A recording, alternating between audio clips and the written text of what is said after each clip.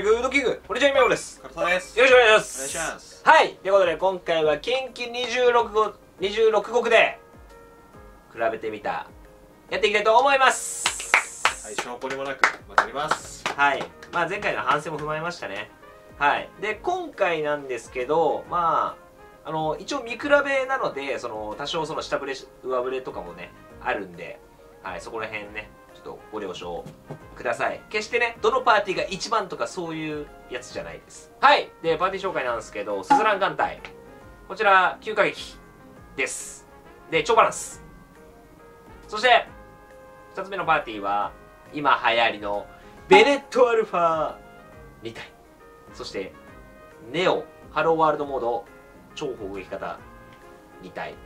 で、ベネットアルファなんですなんですけど、その、片方だけちょっと線形解放してないです。すいません、しょうがありませんでした。はい。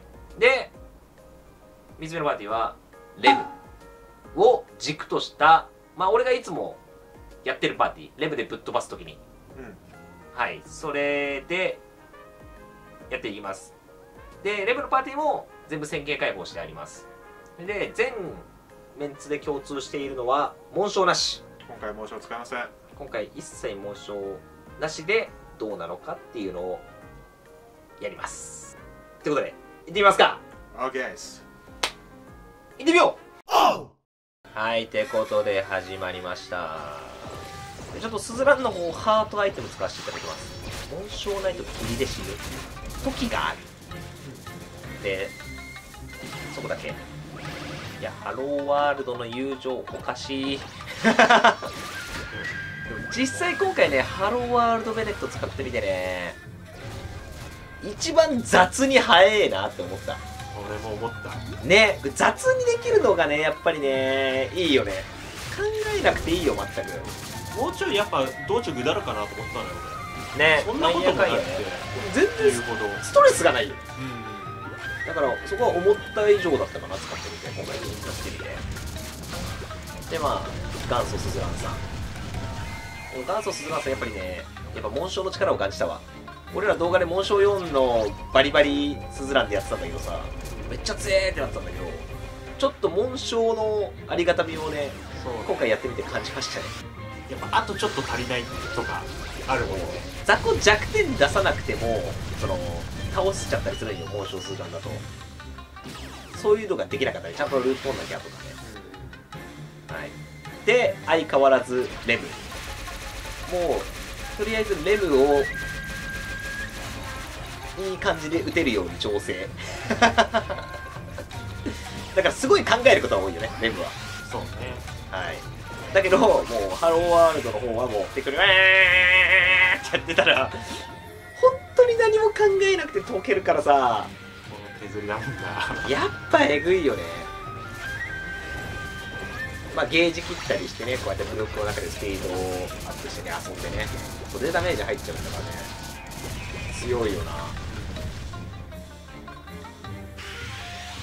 まあね、ちょっと爆発がブロックの中とかに行っちゃうとね、ちょっと誘発できないことがね、たまにあるかもしれないけど、まあ、それはちょっとリアルでも起こるでしょ。たまにやっぱ事故ったりはするだろう結局スピードで暴れるからね、そういう配置はね、多少しょうがないからね。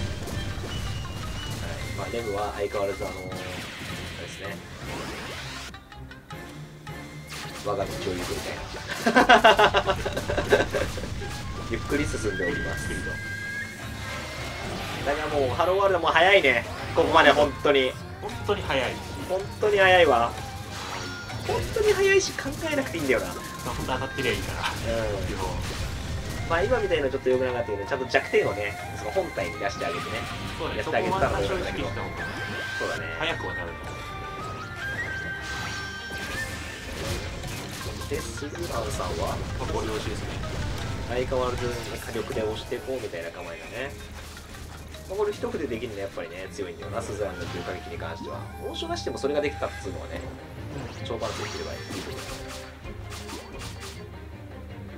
で、ネオは先にバトルファイブっていうと、いや、雑魚も楽なんだよな、もうこんなにかかることもないね、こんなに。ネオン閉鎖のここだけさ解けない。あそうだね。その弱点を友情で削っちゃうとね弱点ある方をちょっと面倒いことになるかもしれないけどまあうまく弱点を出せればねこういうこともあるっていうちょっと上手がいいんじゃないかなベンツや挟まりっても。そうだね。普通にやってもいいからね、まあ、バトルファイブだけちょっと気をつけようっていう感じかなでハローワールドモードが先にボス戦突入もうもう早い打つのも早いもんね今日ね。ユージャーだけだから。簡単。あだんだん追いついてきたねレベルが。なんか準備は整ってで SS もいい感じに溜まってきたしね。た、うん、普通に攻略し始めたはい。でレブはね即位差つけてますね。で一応動力3がいくかなみんな評価は。はい。で超番です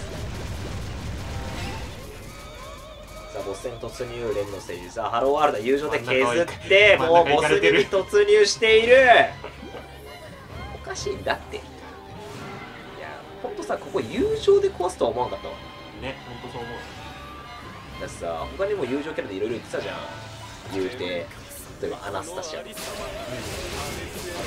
まあ、大の友情とかね、まあ、他にもなんかちょいちょい言いましたけどここまでやるかも本当に友情ゲーなんだもん。本当に友情ゲーだから。半端ないよね。いやーもうもうあーもうラスボスだ。早いっすね。ラスに来ました。でスズラの方はちょっと雑魚処理苦戦してますね。ちょっと混乱になっちゃって。スズランはねここ数字やんないといけないから。紋章あればねここ弱なしでもね4日の時全然ちゃったりするんだけど。さあレムの準備が整った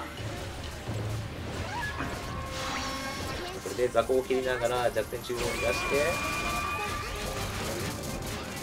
これ出るか。まあねこれもねクリティカル運とかもあるからね。多少上下ある。上下ある。何回か出てくる。普通だと相変わらずの火力と。だからハローワールドの方はもうダブ処理がもう終了してもう最後ボスの削りまで行こうとしてる。でハローワールド気になったのがさここ絶対混乱来るのねラスゲーこれうざいね。そこで下手すりゃみたいな飛び方によってはねベネフィットアルファに飛んじゃう？と面倒よね。だからこのここはハローワールドがいいよね。動かすそうだね。そしたらこんなにはならない一応なんだけどベネットが勝ったら終わりだから。あ他のもう一体の方にもう一体の方に当たれればいいか。そうそうそう。だから SS はちょっと取っておきたいね考えてでも相変わらずパックはね。優秀だね。ってことを言ってるうちに終わるこれはまあいい感じになりましたね。だけどハローワールドもエグいぐらいのスピードスピードで進んでるけどね。これ。だってさ考えるのあのレムの半分以下よ。いや本当にそうだと思うよ。半分以下の思考であのこれできちゃってるからしかも結構これ下振れ気味だからもっと上振れればもっと速いからあと紋章をつけたら間違いなくハローワールドだろうね。ハローワールドだろうね。だって溶かすもん。そう。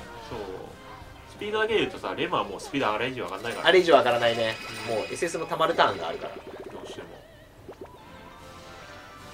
下振れてこれと。でございます。で我々のスズランさん頑張れスズランやっぱな。スズラン頑張れ。面白なしで普通に攻略していくとなるとただ普通にやってるだけなんだよな。原初そう原初の26 26をただただやってるのよ。言うて強いけどね。強いけど言うねて強いけどね、まあ、パックが入ったぐらい。あーまあ原初と違うのは。殴り強いけどね。ね。シンプル26やってますみたいな。うさあラストゲージに行きました。スズラン頑張れ君ならいける。あそうちょっと最初に言い忘れたけどあれだ。ちょ我々ちょっとアムリタが持ってません。そうアムリタどうなんですか？ちょっと艦隊組めなくて。なので今回はアムリタは外しております。言い忘れてた。さあこれ SS って雑魚処理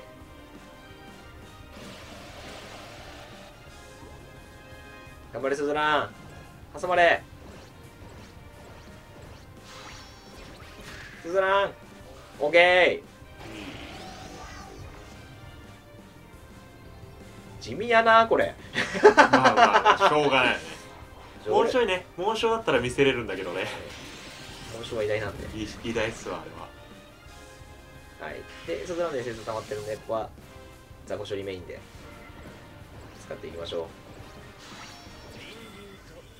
削りはね結構十分だと思うんでしっかり入れれば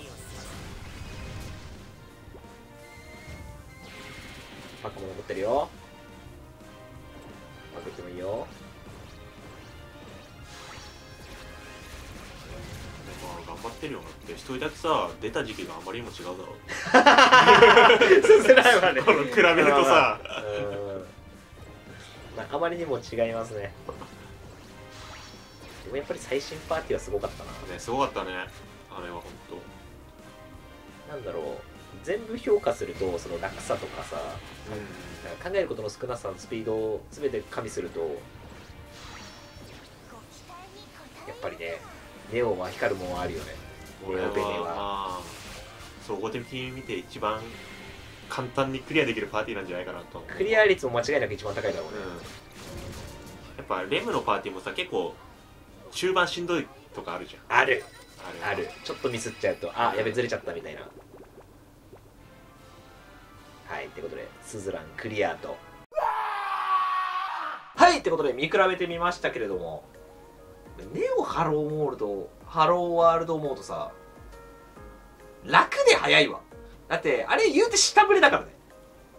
結構プレイ見てたら分かると思うけど下振れてるところもあるのよ。こう削り切れたやろみたいな。紋章を対決したら間違いなくネオハローワールドモードだったなって。一番早いだろいっちゃん早いね。